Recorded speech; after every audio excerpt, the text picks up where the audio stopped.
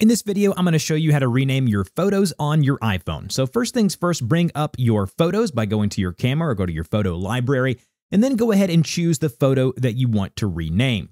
Unfortunately, you cannot rename the photo directly from this photo page here, but it's very easy to do so.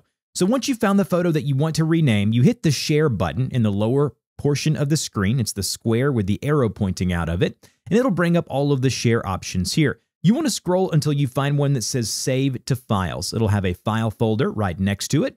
And then it'll go ahead and give you the location as to where you can save it. So you can choose a folder on your device. I'm going to choose Downloads for simplicity's sake.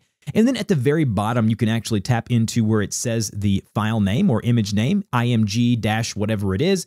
And then you can go ahead and type in, you know, whatever you want the name of that picture to be. And you can even add tags if you want. And then once you're done, just tap save there towards the upper portion of the screen.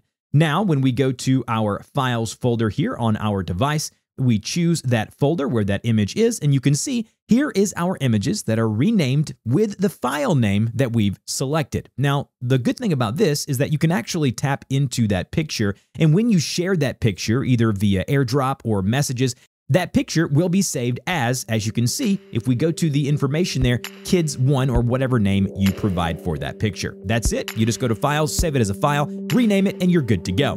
There will be a pinned FAQ in the pinned comment down below for further instructions and possible issues that you may run into. If this video helped, like, share, and subscribe, and I'll see you guys in the next video.